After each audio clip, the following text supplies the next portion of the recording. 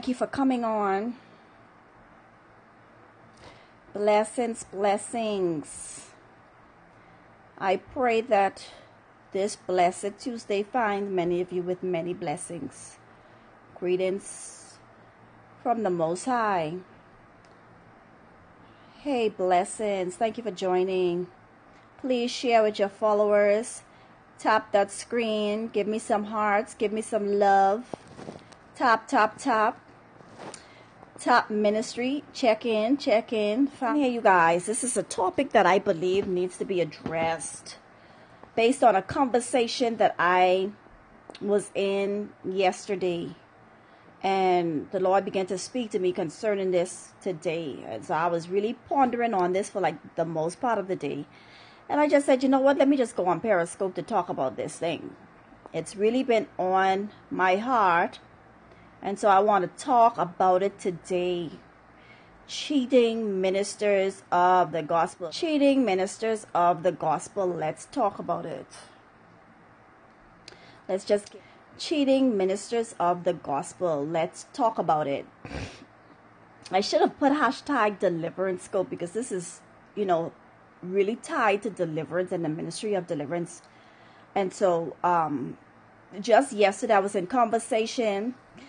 Um, just yesterday I was in conversation with a sister of mine, and you know she was devastated that she found out that uh, a sister of hers, you know, and her husband, like her sister, uh, uh a sister of hers, husband left her.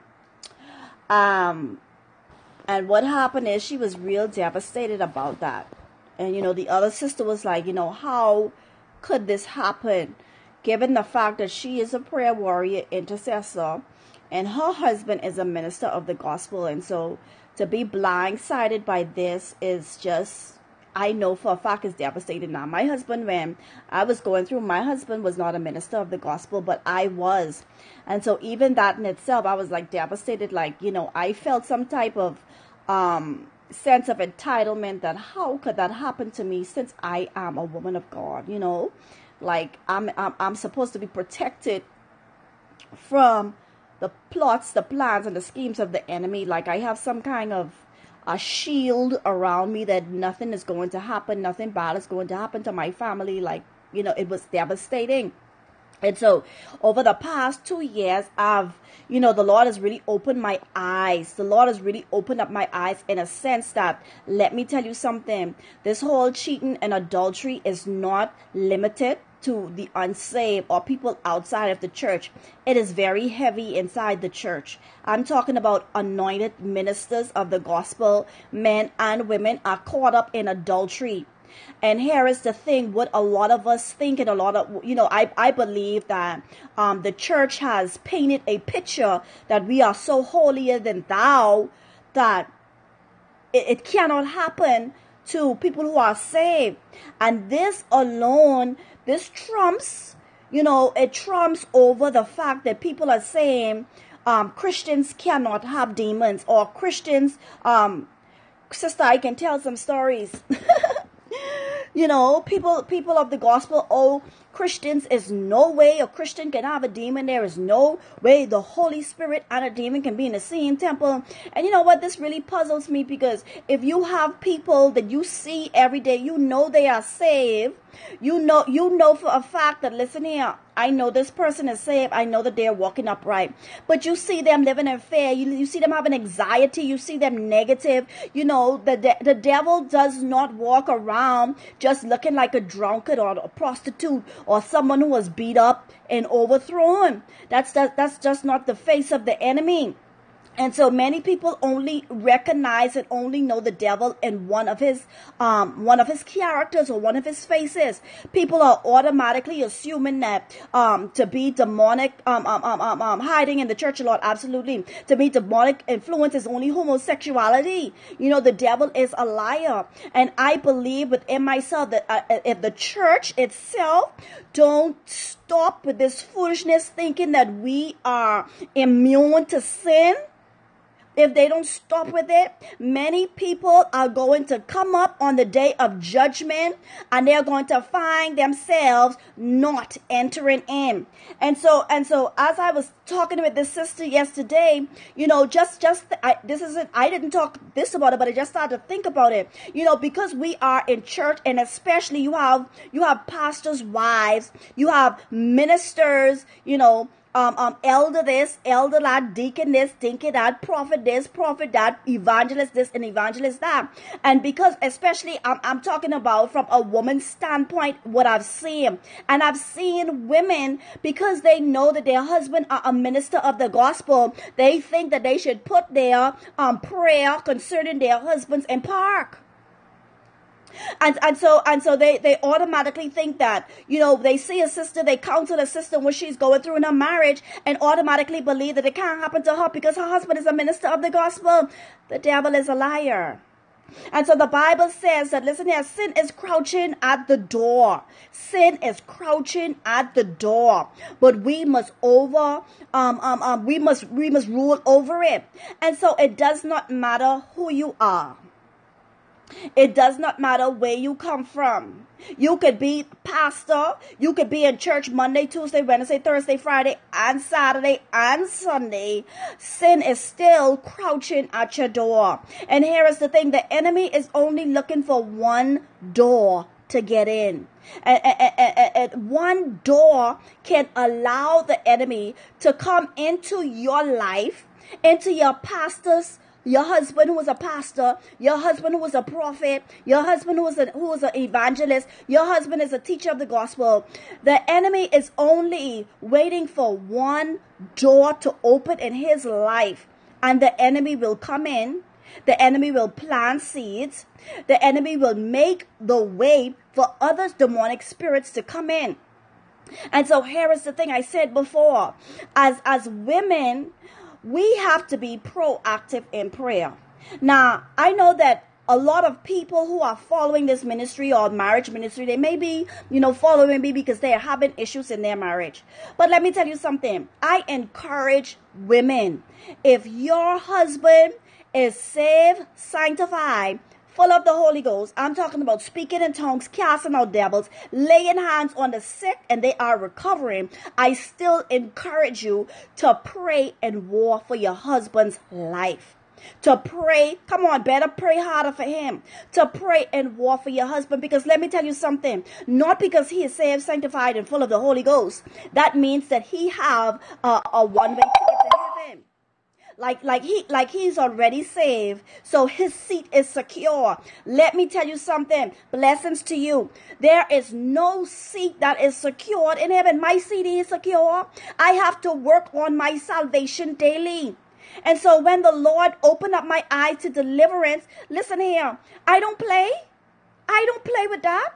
You see somebody calling up deliverance. I on the pulpit like i person at the altar because guess why? I don't know what's sneaking. And I know flesh. Flesh will allow something to come in. You look at somebody wrong. Listen here. The enemy is using that opportunity to come in. Next thing you know, you start thinking things. Next thing you know, whatever is in your head downloads into your heart, and you feel so strong about the situation. Next thing you know, what is in your heart is become your actions. And so we have to be at a point where deliverance is key in our lives. Like, listen here. When you see me go and pray, I, I do even even as I intercede and I pray, you know, on, on behalf of other people. There are some times that I just go inside my prayer closet and I start I running through self deliverance on myself. I said I often do a soul check to make sure that my soul is in check. And although I know the Lord has delivered my marriage, I know that I have fought a battle and thanks, thanks be to God for victory. Let me tell you something. I am still alert. I am still alert and praying for my husband, covering his mind, covering his actions, covering his tongue, let making sure that listen here, whenever the enemy tried to come in somewhere, I done got it covered. I ain't waiting for the enemy no more. And so many women of God, and especially in the church, when they, and, and here is the thing. Here is the thing women of God in the church, husbands start messing around, husband and start cheating, then what? You putting on this face as if ain't nothing happening. You putting on this false hope in the church like, listen here, my husband is perfect. Our marriage is perfect. Ain't nothing going on here. Everybody else have a problem except us. And then, and then too, when your husband done explode or when he up and leave, then you lay it in shame because why? You don't you don't put you don't paint this picture for all this time. You you you don't paint a picture that everything is perfect with you. You know you hurting and you trying to minister to other people. It's okay to seek help if you having issues in your marriage. It is okay to seek help if you see your husband um, um, um, having these attitudes like Lord, where did this come from? It is okay to do it. Because guess what? I've seen people over and over. I'm talking about sisters in the church because they are now that you know we don't act like we and saved, sanctified, full of the Holy Ghost, and better than everybody else. Then when your husband step out of you because you are overwhelmed with shame, then what? You stepping outside the church now and you resent God. Come on, come on now. My God, my marriage in shambles now. Now you upset with God because you shame. This, this shame wasn't brought on by God. This shame was brought on by you because you failed to admit or seek help for your husband's issues. Some of y'all know your, your pastor or evangelist also get anger issues. You know this man. You married to this man, this man minister in the gospel, and you know he have anger issues. It's okay that he's a minister of the gospel and have anger issues. Then you know how to pray. You, you don't just cover up and, and go about like normal business. Come on now. You know your husband looking at pornography. You, you know he have a problem with his eyes and he looking at women in the church. You don't just sit there and act like it ain't happening. Come on, face this giant. Deal with this devil. Round up the intercessors and have them pray for the man of God or have them pray for the woman of God so that the gospel will not be put to shame. Come on now. We as men of God must take responsibility. Absolutely. Wait, listen here. This is why I love the ministry of deliverance. And I pray that the church embrace it more than anything else. Because what the enemy is doing, where we have this argument going on in the church. Oh, deliverance. People ain't, you know, they seeing deliverance going on. Oh, I don't agree with that. I don't agree with this. Listen here. Forget it. If we cast out demons, let's cast out demons. Everybody don't cook steam the same way. Come on now, separate three years, still married, no holiness, need God, ASP, yes. Yes, yes, yes. I pray that you seek and find the Lord. Come on now, we we too busy arguing about what we believe in the gospel. Everybody don't cook mac um, um, macaroni and cheese the same way. Everybody don't fry chicken the same way. Come on now. At the end of the day, what we just what we getting? We still getting fried chicken. We still getting mac and cheese. So why we in the church? We have to debate the gospel. Oh, I don't believe this. I don't believe that. Like if somebody getting delivered, who cares what you believe? Who who cares? If my if, if my method is to slap somebody on the head and yours is to slap slap someone on the belly, who, it, as long as the demon getting cast out, who cares? We must die daily. Absolutely. We must go through deliverance daily. Absolutely, man of God. This is a daily walk. And let me tell you something. I've had my share of deliverance. But I still ain't listen here. I first of all, I didn't know that the devils was in there in the first place. Like like seriously, like like I'm not talking about I am not talking about like I know I was saved. And I don't need nobody convince me of that. I know I was a woman of God. I know I was saved. I know I accepted Jesus as my personal savior. Savior. I know I was filled with the Holy Spirit. How do your spirits get in? Like I ain't trying to debate nobody who talking about oh how could how could um, um demons and and and um the teaching will make doctrines fall apart. Listen, I ain't debating with nobody if a if a Christian can have a demon and I as a Christian and I had one. I ain't debating that. You think I debating that? Come on now, and I see. Listen here. For those of you who do not have a copy of my book, do purchase a copy. Um, when wives fight families, fam. See, I'm talking about this not because of what I've seen. I'm talking about because of the position that I was in. I was a minister of the gospel. I was ministering to God's people. I'm talking about when I dance, people are moved by the Spirit. But because I was hurt, because I was going through with my husband, I stepped outside the will of God. I cheated on my husband because of because I was hurt. And I continue with the face that I was listening, okay, I continued with the faith that I was ministering the gospel. And let me tell you something. The, the most deceptive, deceptive thing is, is that you minister in the gospel and you seeing people move by your ministry and you, you know you doing mess. You think you okay. You know. You know if you die today that you going straight to hell. You know that. But the enemy done deceive you and make you think because you done minister. Come on now, I'm real with myself, but I understand that I can't give room to the enemy. Absolutely. Like, like, like, listen here, don't be deceived because you you you you ministering the word of God with with with anointing, with power, but you out there still doing mass. Listen here, don't be the one that the Lord say, Lord, Lord. The Bible say, not all that say Lord, Lord will enter into the kingdom of heaven.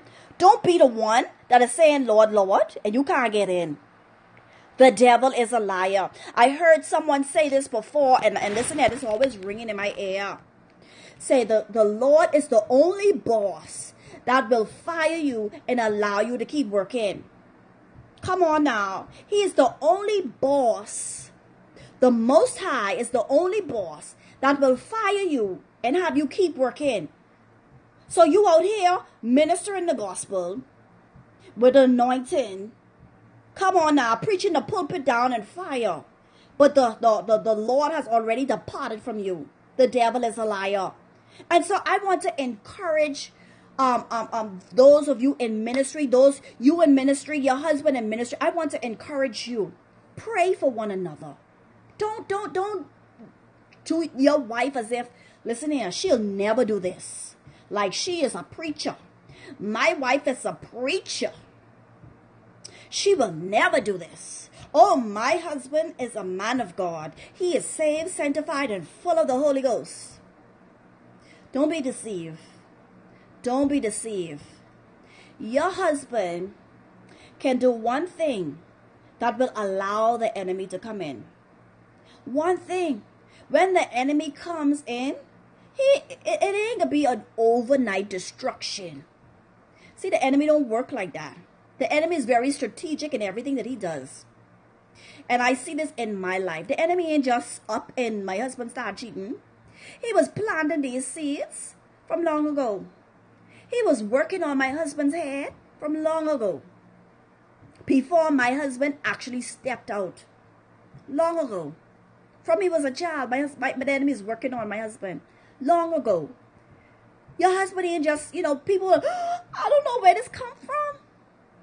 And then when and then when he done cheat on you or when he out there, then he starts saying, "Oh, I you you did this and you was always controlling and you was all the enemy was planting that long time ago. The enemy is planting that in his head. There were moments that uh how did I miss this notification? the enemy was just working on him and it was just, just a time where he broke down your husband's spirit to the point where your husband was more weak in the spirit that he couldn't give in. That that that that that's where i stood. That's what my testimony was. The enemy didn't i just didn't up and cheat on my husband. The enemy was playing on my mind for months the enemy was showing me, oh, but why you over here? Come on now, why you over here? Uh, uh, serving the Lord. This what your husband was doing. While all these men looking at you and lusting after you, you saying no, but your husband out there doing it. Listen here, I ain't even this stuff, but I used to hear in my head.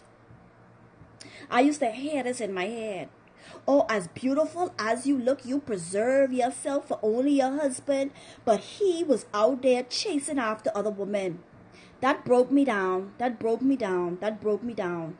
Until I was at a point where, you know what I said? I remember I was at a point where I said, listen here, the enemy done been feeding lies in my head long time now. I'm telling you, it ain't just happened overnight. Long time. The enemy's been feeding in my head. It was already playing in my emotion. My heart was already broken. I was already upset with the Lord. Listen here. I couldn't even fight off a feather. I was so weak and broken at that time that when the enemy came in with the fatal blow, like I just couldn't resist. It was like it was like listen it, it, I was with my husband for six years, marriage, five years, um, dating him. And I'm telling you, in high school, like I would have guys whilst my husband was in college and it was coming on to be strong. Oh, I'll do this for you, I'll do that for you. And look here, I've had no problem giving them a hand, like step off, I ain't into it. So what? Like get lost. Six years into marriage, you know, of course it's normal. I, I don't boast about it, but I'm a beautiful woman. People looking at me, you're so beautiful, and this thing and the next thing, that never got to my head. Listen, it, that went through one and came out through the next. But it wasn't until I was hurt and broken that it really affected me. I'm telling you, it was like I didn't have the strength to even swat a fly. I did not have the strength to swat a fly. And even when the Lord told me, the Lord said, don't do it, like I was like, God, like, my husband didn't care when he was cheating on me. Come on now. Someone said get delivered before you get married. I would listen here. Get delivered before you get married. That's true. I could, I was like, listen here, I was already broken. I was already broken. The enemy is very strategic. And so you have to be careful. Even in ministry, you could be side by side with your husband in ministry. I mean, you traveling the globe, he traveled the globe, you're traveling the globe together. But keep the man of God covered in prayer. Continue to war for his salvation. Man of God, continue to war for your wife. The enemy is roaming to and fro the earth, seeking whom he may devour. He is looking for somebody. Ladies, men, women of God, we ain't immune to sin. We're not immune to sin. Don't think that. I don't care where you, I don't care how mightily the, the, the Lord uses you in the season of your life. I don't care how much you prophesy. I don't care how much you speak in tongues. I don't care how much you deliver words of knowledge and words of wisdom. You are not immune from sin. It can happen to you. It can happen to you. I despise, let me tell you all something. I came from a family where, listen here, I was trying to get on dating sites and trying to track men down. God blocked it every time. Praise the Lord. I was, I, my, my, I came from a family, listen here. Cheating is the thing. Like I was, I used to tell some of my cousins, like, look here, I serious, I, am glad I related to y'all because I wouldn't want to buck none of y'all. Like y'all is a mess. Y'all have no heart like why? Like you have a, uh, someone that, that that that loves you and you know honors you and like why? Like you just do like it's just like it was no sense of commitment. My brothers like no sense of commitment. Like like seriously. And i and me i look at them like listen hey y'all need to do better. And just turn around and and do the same thing that i despised. Like seriously. I wasn't even married to my husband and i never cheated on him. I never thought about it I never even was tempted. But the moment that I was hurt, the moment that I, the moment an open door to my soul opened up, and um, um, the moment a door opened up to my soul, listen here, I forget how much I hated cheating. I forgot. It wasn't even, it wasn't even in the forefront of my mind. My Lord, we are not immune from sin. We can fall at any time. Don't think that's why the Bible says, do not think of yourself more highly than you ought to. This, this, this, this, this, this trial that I've gone through in my marriage, it was a humbling experience. It was a humbling experience for me personally, you know, overall as a wife, but much more to me personally. Because I understand, come on, take heed lest you fall. I understand that I will not, listen here, when I tell you, if I see a woman cheating on her husband, I will not speak down to her. I will not feel like, oh, this woman, this or makes you more compassionate. Absolutely. I would never look at a woman or a man of God and turn my nose up to them, even if they preach in the gospel. My thing would say, Lord, the first thing I would say, and, and, and I've seen it, men and women of God, I say, Lord, help them. Lord, deliver them. Lord, open up their eyes. Because I know for a fact that the enemy has taken a hold of them. You don't know what the open door was. You don't know why. You don't know what they have gone through. That's why I said, listen here, you can't judge people by what you see if you have never walked in their shoes. I don't judge. The, the Lord had to humble me. I don't judge people. I do not judge people. I had a sister. She, after, you know, she and I was very close. And after a while, she came to me. She said, she said, Meltoria, I want to, um, she said she wanted to tell me something. And I know she saved. Me, she, she and I worked in ministry together. I know she saved. She said, you know what? I've been struggling with smoking. I was shocked. Because I, my mother and father smokes. Like I could smell smoke from two blocks. That's how strong my nose was. But I couldn't tell that she was a smoker. She said, I have been very good at covering it up. She said, but at, at the time, I think that it was like a month before or a couple weeks before, she said, But the Lord have delivered me and removed the taste out of my mouth. And she says, For some reason, I wanted to tell you that.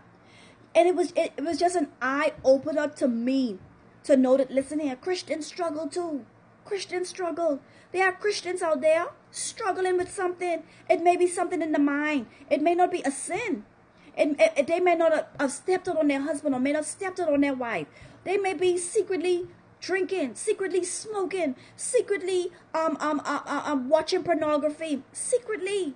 This is why the Bible said that we have to pray for our brothers and sisters. We have to always pray for them. We have to always pray for them in the faith. We have to war. We can't just we can't just speak condemnation. Who are we to condemn? Who are we to condemn? Your spot on the on the on the 545 flight 260 on the way to heaven is not guaranteed. It is not. And so and so pray for the, the ministers of the gospel. We as the church, we have to pray for them that deliver the gospel. We have to pray for them because the enemy is seeking. Come on, Paul addressed they were believers. Absolutely. Absolutely. We we have to pray for the ministers of the gospel, and I'm talking about men and women of God people that you listen to on Periscope. If you're to be listening to them, you need to cover them in prayer. If you're going to be listening to these people, I don't care who they are. I don't care what gift of the Spirit they move in. I don't care how powerful they look. Pray for them. They are not immune to sin. They could fall at any time. You see people all the time. You, you see men and women of God being consumed by greed money. They all of a sudden now they, they are lovers of money.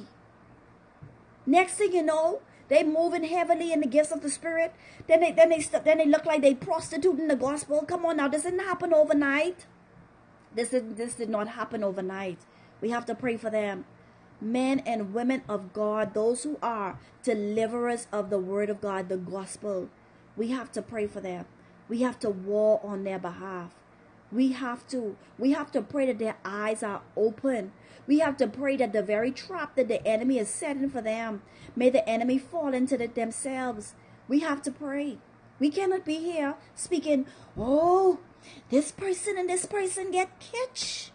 This person and this person, oh, this person leave their wife, they leave their husband.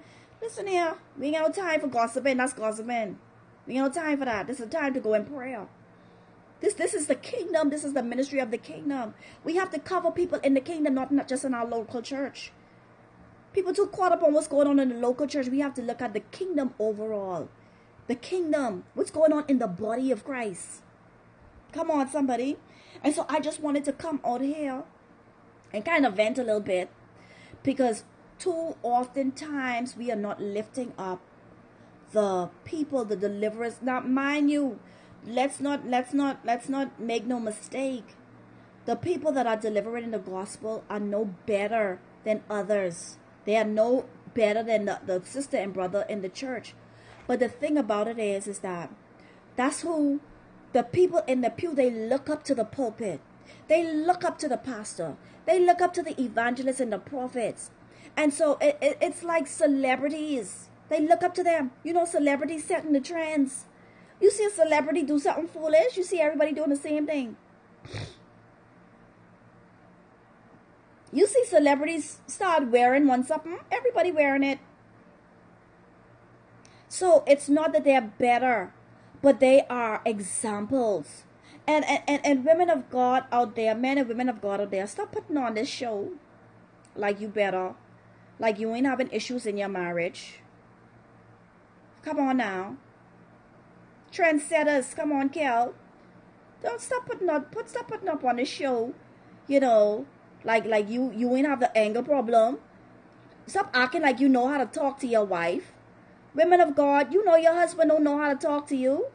Don't act, don't go out here. Oh, he, you know what? And then the thing about it is, you're always parading, but he know how to treat me. Oh, he, my husband know how to treat me. My husband know how to treat me. My husband, like, if you keep on ringing at my ass, like I have, I, I looking at you funny because why you have to keep saying it? Why, if if you, if your husband is treat you right, why you have to keep on saying it? Let's just live this thing. We ain't gotta keep on parading. We gotta keep on pronouncing it. Okay and so and so so that we because we social page is a whole lie oh gosh Kelmanis come on now per, per, parade and then get divorced the next year your marriage perfect on social media oh my gosh somebody come for these too but we have to stop putting on the, the example we are we have to be accountable for the lives that we are wrecking because we are painting a picture the a false picture the picture is false you having issues in your marriage, don't act like everything good. Expose that demon.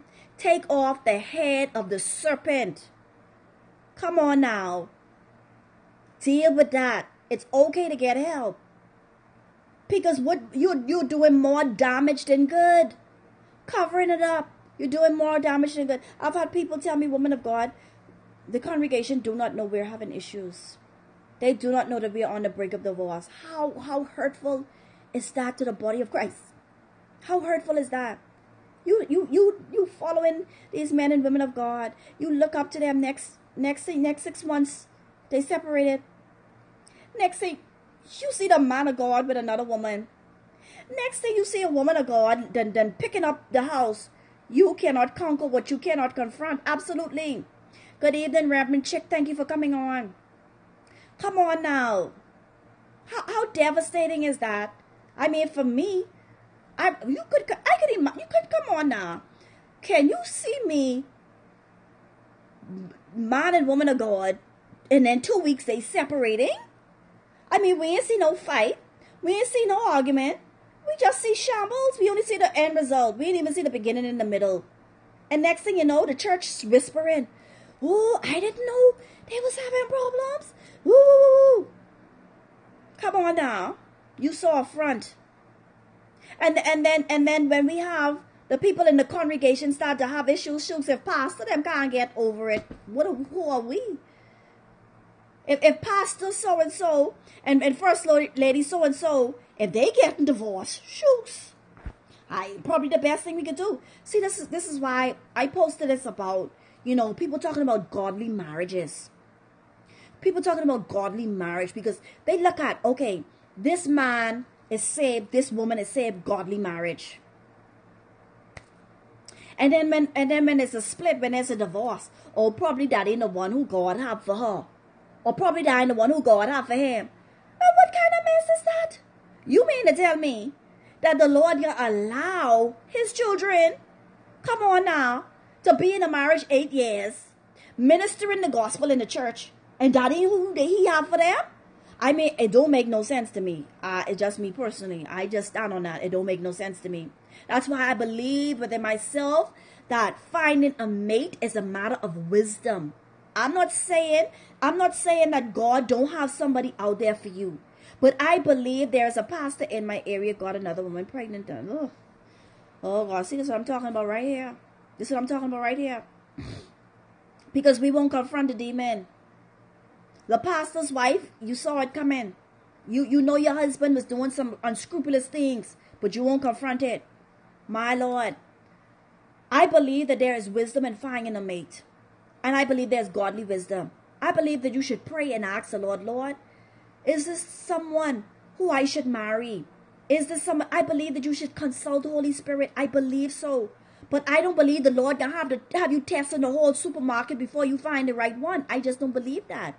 I don't believe that that that, that I believe that women make mistakes. I believe that men make mistakes in who they marry. I just had a bad choice. It's like choosing a fruit.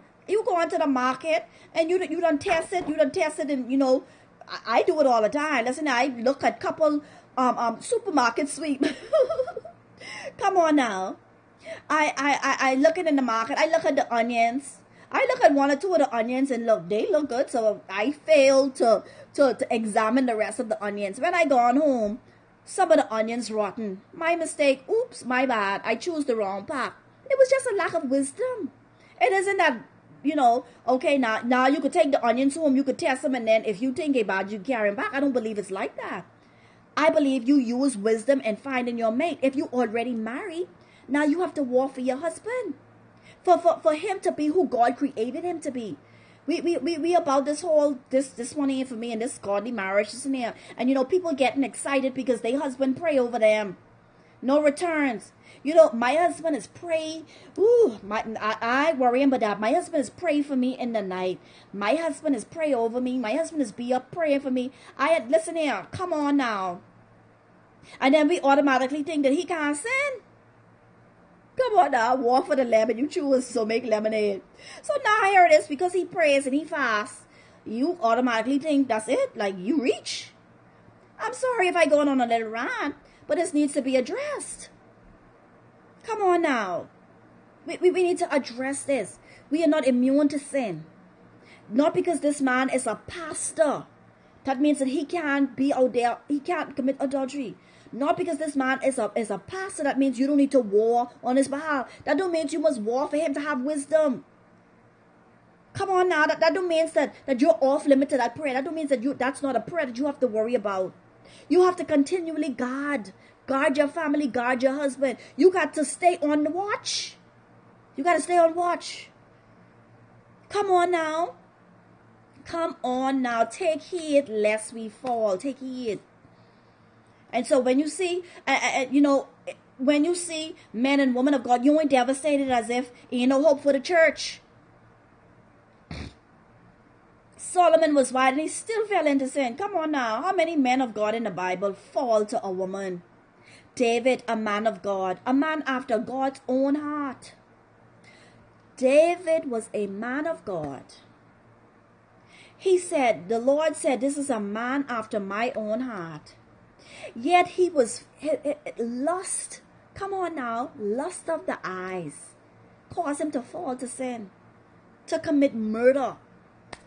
Is this not enough examples for us? Are we what, what are we what exactly are we looking in the word for? We can't just look for the juice and the sugar and the sweet. We can't come on now. Come on now. We, we have to we have to understand this that the enemy is out there waiting of course, he ain't attacking the world like he attacking the church because they're already going to hell anyhow. So why he gonna waste time on them? He ain't trying to bring down those who already sin. He trying to bring down the people in the church. He trying to bring down those who are those who have been bought with the blood of the lamb. That's who he trying to take down. He ain't trying to. If if you already going to hell with him, why he, he ain't even waste no time? But the moment that you find salvation, the moment that you try to walk upright before the Lord, it's on. It's like marriages. People people will be listen. I've seen people in marriage for a long time. They had a good uh, not in marriage. I see them in relationship for a long time. For a long time. I see people in 10 year relationships. I'm talking about girlfriend, boyfriend for 10 years fornicating. I mean, committed to each other. The minute they get married, five years in the marriage. I'm like, I don't understand. You could fornicate for five years, but you can't be faithful for five. I just, I, I, come on now. I just don't understand that. You could be committed to a woman, you could be committed to a man for 10 years outside of marriage, living in sin. But you can't keep that commitment to him because you married? Something wrong with that. Is something wrong with that. And we have to pay attention to these things. Okay? And so and so listen, I just want to encourage and those of you who watch my periscope, you may be a minister of the gospel. You may be a prophet, a pastor, an evangelist, a teacher, whatever you may be. You may be married to a apostle, apostle. Listen here, war for your husband. War for your husband's soul to make sure that he do not fall in the traps of the enemy. The enemy is setting traps for your husband. The enemy is setting traps for your wife. Oh, they getting set. Them traps getting set. Just pray that they don't fall into any of those traps. And then we won't be surprised like like how how how could how could my husband cheat on me? He, he was a pastor. I had a, I had a wife tell me, "Woman of God, I just don't understand. My husband is speaking tongues for hours." I say, that don't mean he have a tick a, a, a one way ticket to heaven. Come on now. So, anyways, rant over. Pray for your husband. I not even pray for your husband. War for your husband continually, not just you know. People even get tired of war, and I don't. I've been praying for two years. Ah, uh, the Bible says that we ought to always pray. The Bible says we ought to pray without ceasing. Like, don't stop praying. Always pray. So, this limitation would be putting on prayer, where we get that at? I've been praying for two years. Prayer should be a lifestyle. You shouldn't complain about how long you've been praying. Because you should never stop. But you you tired, you ready to stop praying? Oh, the enemy waiting on you. My Lord. Anyhow, you guys, 24 7, that's right. You wash your dishes, you pray, you're mopping, you pray, you're sweeping, you pray, you're bedding, you pray, you're on the loo, you pray.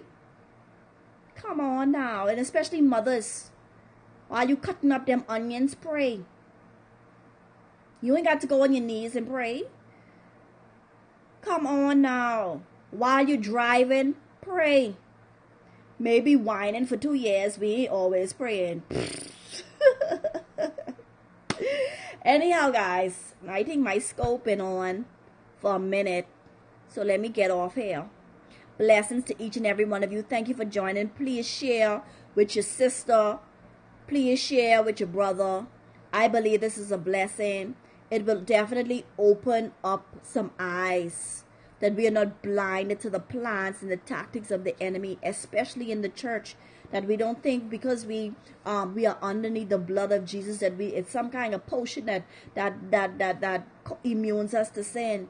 It's only um, not not not even only because I don't want to make it sound as if the blood of Jesus is not that great, but the blood of Jesus is what that we are using to counter to, to conquer the enemy. The blood was shed that we do not have to fall in the in the in the traps of the enemy. The Bible says that sin is crouching at the door, waiting, right? But he said that we ought to rule over it. We are supposed to rule over it. When you when you get the temptations to sin, you're supposed to rule over it. You're supposed to have dominion over it. You you should not be defeated by sin or by the enemy because you have dominion power over it. That's all. Anyhow, blessings to y'all.